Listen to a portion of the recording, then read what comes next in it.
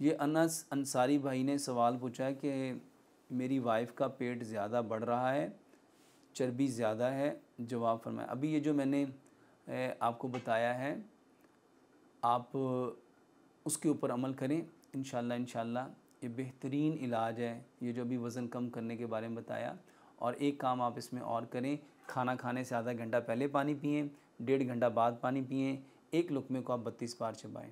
सुबह का खाना साठ फ़ीसद खाएँ, दोपहर का खाना तीस फ़ीसद खाएँ, शाम का खाना दस फ़ीसद खाएँ। खाने में पानी मत पिए। ये जिस बहन का पेट बढ़ रहा है, वो खाने में पानी छोड़ दे।